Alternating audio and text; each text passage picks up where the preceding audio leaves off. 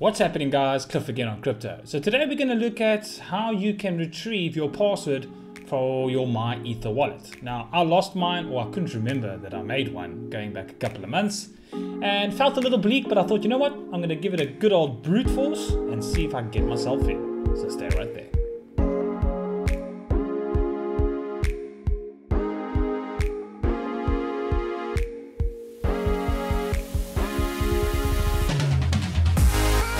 Right guys, I thought I'd make this video only because I think it has a great ending to it and it could possibly help those of you that are stuck in the same predicament that I was stuck in a few days ago. Now, fortunately, mine did have a successful outcome. I did in fact get into the wallet and I was able to retrieve and move my coins over to my ledger, but I was stressing a little bit. So give you a quick overview. I created a Fusion wallet back in the early days when it just came out. And for some obscure reason, I must have made use of a common password. I'm sure I did, but I don't know if it was case sensitive or not. But nevertheless, with all the excitement, stuck a few rigs on and I got mining with it.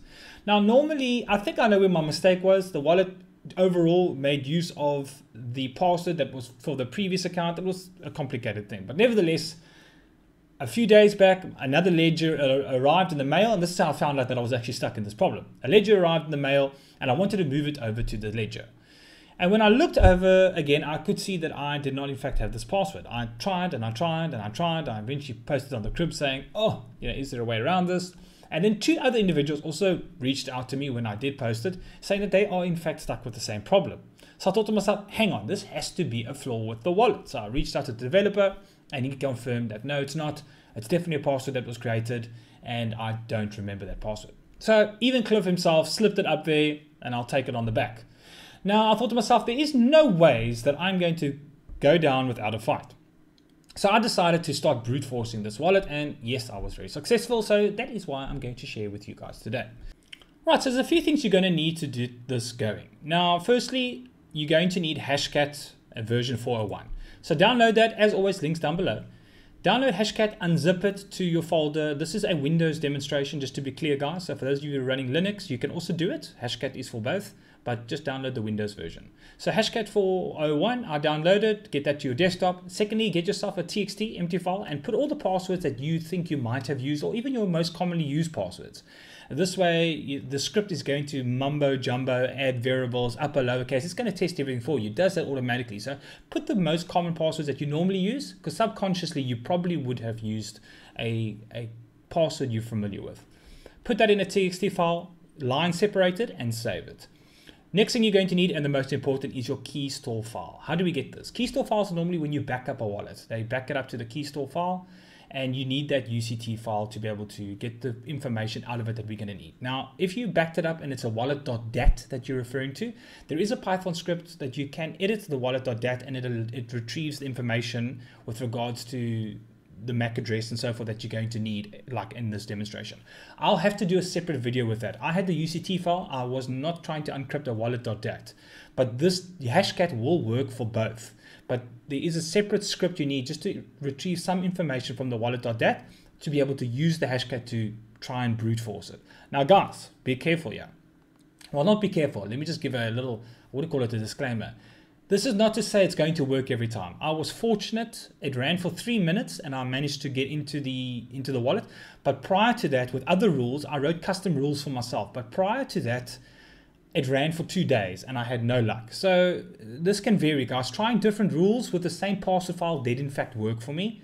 And I'm hoping it'll do the same for you. But if you do get stuck, reach me over at the, at the crib. I'm going to be doing assistance with it. Now, don't always, another very important note, do not just give your wallet.dat files to anybody or ask for assistance. You never know what lures on the, the dark web.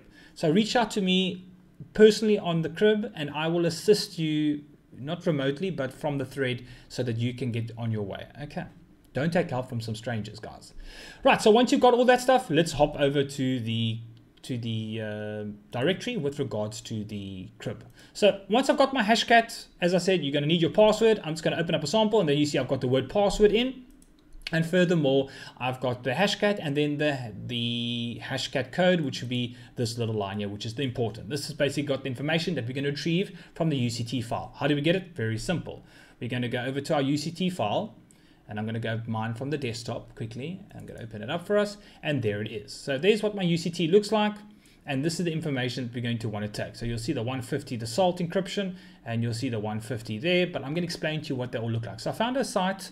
I also made a document, a Word document with regards to it, but this website will give you a bit more indication. So the UCT file, by default, when you open it up in Notepad, it looks like this. Let's just pull up my UCT again. Where is this UCT? So here we go. So there you can see is the UCT file. That is what it looks like by default. It has this address, everything that you see here, exactly like your UCT. It then tells you this guy was kind enough to show what the hashcat requirement is required to be filled out. So I'm just going to open that again. So here's the hashcat. It shows you what the layout needs to be. So it needs to be, in this case, Ethereum. This applies to Ubiq and all the attached algorithms. So you always make use of Ethereum. And then furthermore, you've got the byte size, which is 1024, which you can leave standard. You've got the R, which is 8 set over there. So just put that back to 8 and you get where I'm going with this. So if you follow this little guide, I made a snapshot of this. I'm going to include it in this video right over there so you can see it. But furthermore, I'll put a link to it as well.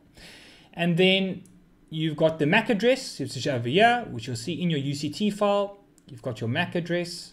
There you can see the word MAC. Then you take what's what's inside the, the, the commas here. Got the MAC address, so you take the MAC address over there. And then furthermore, they want the uh, ciphertext, and there's your ciphertext and you put it in this layout. So firstly, and yeah, you'll see he shows that layout exactly what you need to do. Let's just pull this down. So there you start, Ethereum 102, and the first one is the salt address. So you copy the salt one in, there you can see I did it. There's the salt, stop by the star. The next one that is required is basically the blue, which is the ciphertext. So I go over to my ciphertext, I take it over there. There you can see that's the ciphertext over there. And lastly but least, the MAC address, which is the green one. So very simple, those three things you need. You can go ahead and save it and call it hashcode and put it in the same directory as your as your hashcat, right?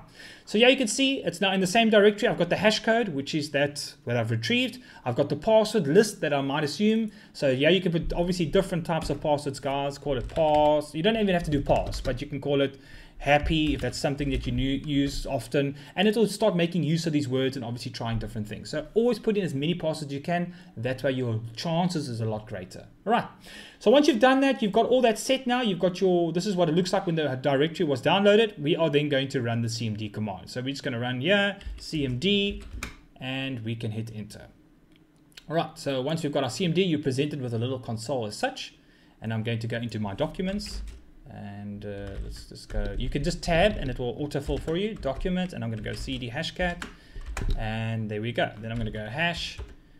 Um, let's go hashcat and I'll show what exactly what we're going to need hashcat uh, come on. Hashcat 64 because it's a 64 version and I'm going to run the exe and I'm going to push help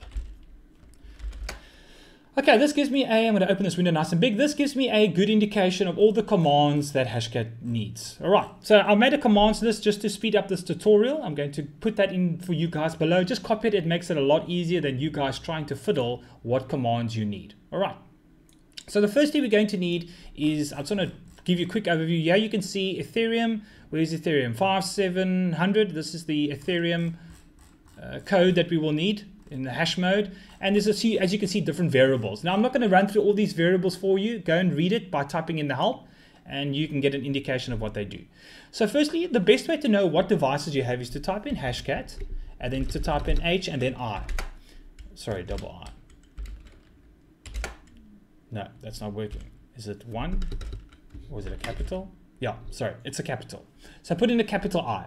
Then you're going to see it showed you two devices. In this case, it showed me my GPU, which is device one, and then my CPU, which is device two. So in this case, I'm going to be making use of the CPU for this demonstration. So I'm going to then type in hashcat.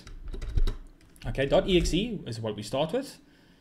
And let me just quickly bring this a little bit more to the center of the screen for you guys. There we go. So I've got hashcat 64exe. Then I'm going to go dash M and then I'm going to put in that 157, which is the Ethereum based um, code that you saw.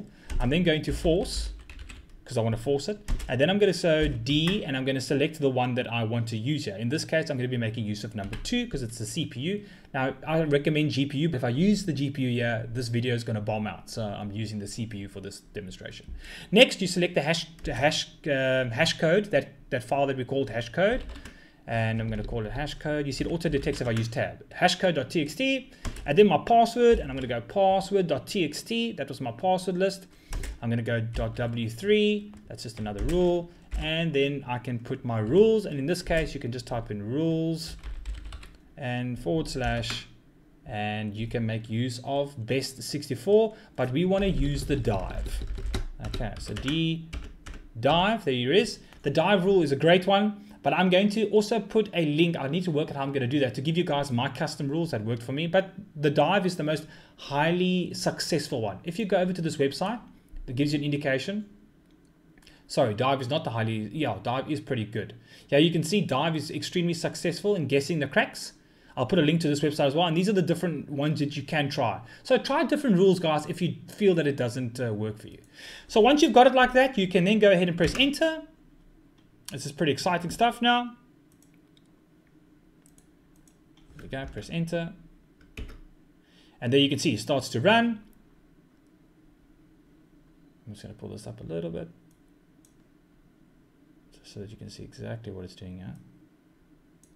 And there it is. Now if I press S, yeah, you can see now it's just going with password and now it's starting to crack. There it's running. It's trying to decrypt this, this, this. And if I keep pressing S, guys, you'll notice here the candidates. It keeps changing the password. And yeah, it tells me exactly it's going to run for nine seconds because obviously I didn't put a lot of passwords in. So it shows you quickly time started. It'll show you that, uh, oh, sorry, I made use of the GPU here. So yeah, you can see my GPU was in fact working. It gives you the speeds and so forth. And that's pretty much it. If I keep pressing S, you'll notice that it's trying different passwords, generating different um, different ways that it can try and crack this file. So guys, eventually it will show cracked and that looks like this. There's what mine looked like guys. I was super stoked. It only ran for a couple of minutes. But let it run, try different combos, and once you have it, oh, it is such a great feeling. And that's why I thought I'd make this video because I know there's going to be many people that have it. If you're getting stuck, reach out to me, guys. I think this is a great way um, to give back as well as try and assist those that are in this predicament. If I could get into it, I'm very sure any noob can as well. It's something so foolish, something so simple. And my password was the password I normally use, but it had an uppercase and some other variable to it. I don't know what I did. It might have been even the keyboard that I was, you know, when you're typing fast, that you just didn't uh, type it incorrectly. So there we can. So every time I keep pressing S, you'll see that it's different passwords just to see the status. But you can just let this run and it will do its thing. And eventually it will show you cracked like that. I'm really liking that screenshot because I love the fact that I cracked it and uh, pretty stoked about it. So guys, I hope you're not in this predicament, but if you are, reach out. If you're new to my channel, give us a like and a subscribe. It really helps. We've got a lot of cool content coming. Sorry, it's been a bit quiet. I've been busy with a lot of things. And we're going to be back soon next week, pushing our daily content as always and really quality content as well. And I'm sure you guys are going to love it. But to the next time, guys, I hope you enjoyed it.